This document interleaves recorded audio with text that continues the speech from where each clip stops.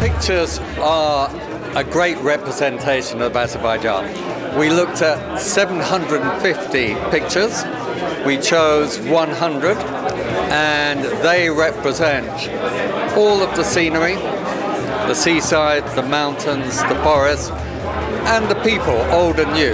The winning picture, old men sitting around talking with one old lady, yeah?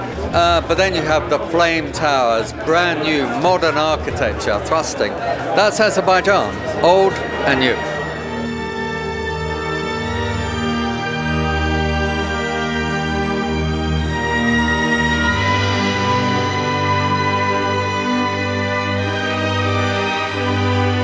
Azerbaijan is an amazing country. It's very small, it's about the size of Austria, but it has nine different climatic zones, from glaciers down to desert. It is absolutely amazing. It's at the crossroads of the world, where north meets south and east meets west. Lots of culture, different ethnicities, different religions, the old and the new. It is unique.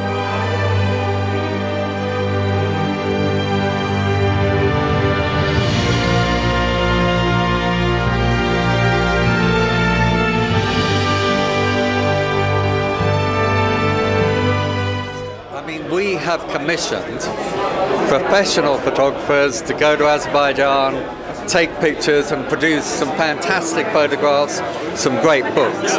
But what we wanted was ordinary people, visitors, people who work in Azerbaijan, Azerbaijanis, foreigners, to bring to us their ideas, their representation of Azerbaijan. And that's why you get the variety that you've got here today.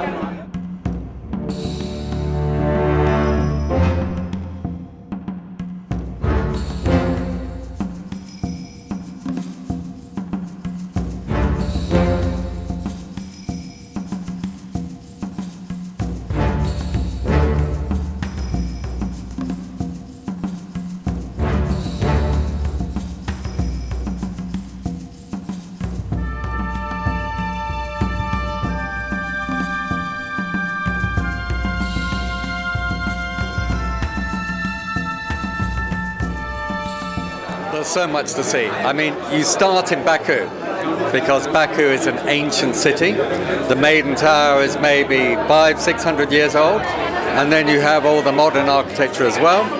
And then you go to the countryside where life is not that different from it was maybe 10 years ago. There is now almost no poverty in Azerbaijan.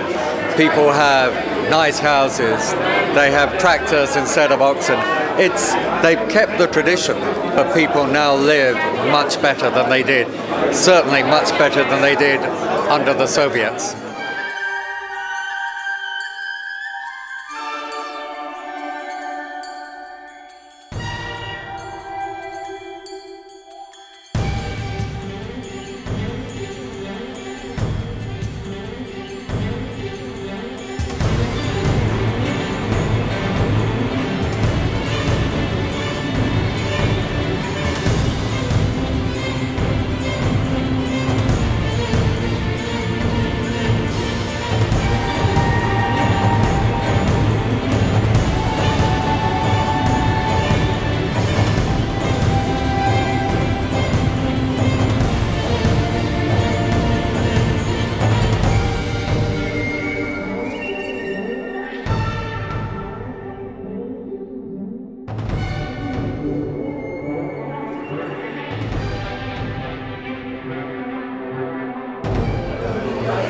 Still more traditional than modern because 21 years ago Azerbaijan was part of the Soviet Union.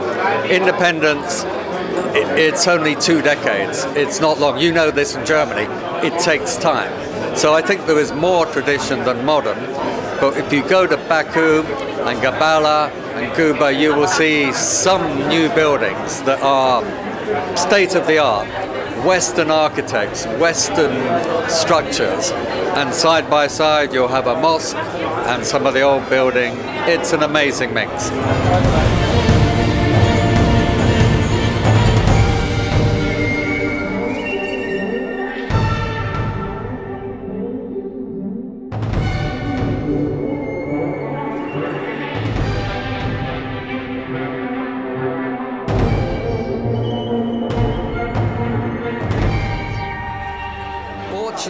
Wasn't me. We had two top professional photographers, one a royal photographer in the UK, and the other the director of photography for Condé Nast. So two top professionals who did the choosing.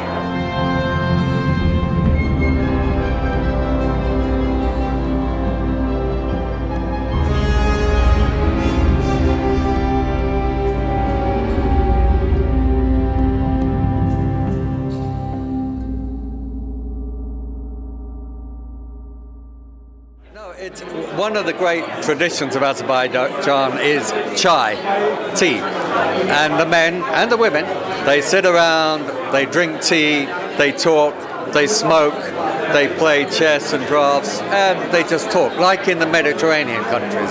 People just sit. Now that photograph is quite old, and the reason we know it's old is because that was taken in Nagorno Karabakh which is now occupied by Armenia. So there are no Azerbaijanis there. They're all dead or they've all gone. So that photograph is maybe 25 years old, but it doesn't matter. It's a fantastic photograph and it shows the way older people still live in Azerbaijan, but it also reminds us that 20% of Azerbaijan is occupied by Armenia illegally so it combines all of those things. My baby, this is a letter for you.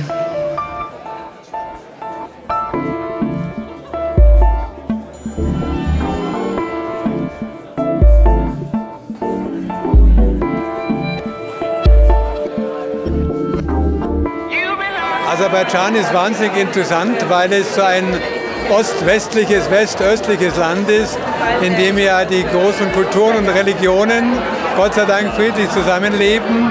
Ein Land, das eine islamische Kultur hat und trotzdem sozusagen ganz, ganz offen für den Westen ist, was für uns, die wir ja den Dialog mit der islamischen Welt suchen, unheimlich wichtig ist. Ich bin auch in dieser deutsch-aserbaidschanischen Gesellschaft organisiert, weil wir als Musikhochschule in Weimar einen großen musikethnologischen Teil haben.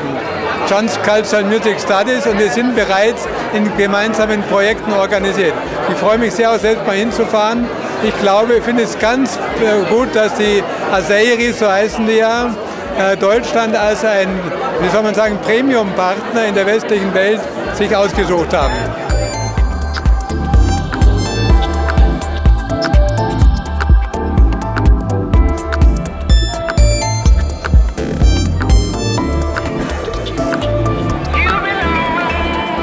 In den frühen 80er Jahren mal in äh, Aserbaidschan gewesen und damals in Baku. Und Baku war eine äh, kleine, graue und eher schmutzige Stadt. Äh, und äh, das Meer davor war total versaut äh, von äh, nicht sehr fachmännisch gemachten Ölbohren.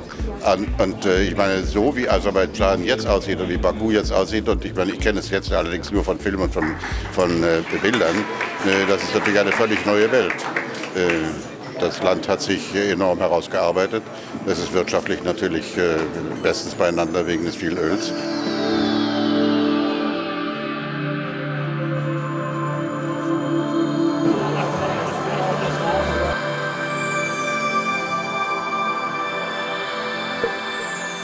Also wenn man die Bilder sieht, bekommt man Lust.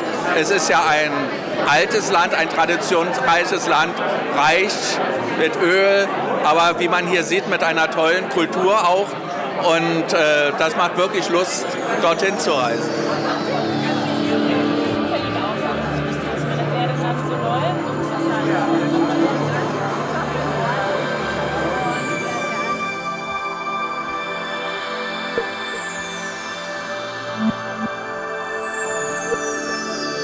My baby. Ja, Aserbaidschan so schön ist, sind die Bilder auch schön. Also äh, mehr kann ich da, außerdem habe ich noch nicht viele gesehen. Ein bisschen beeckt hier.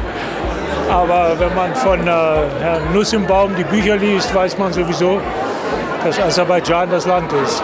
Warum? Na, weil das klasse ist einfach. Ja. Ich hoffe, es wird wieder.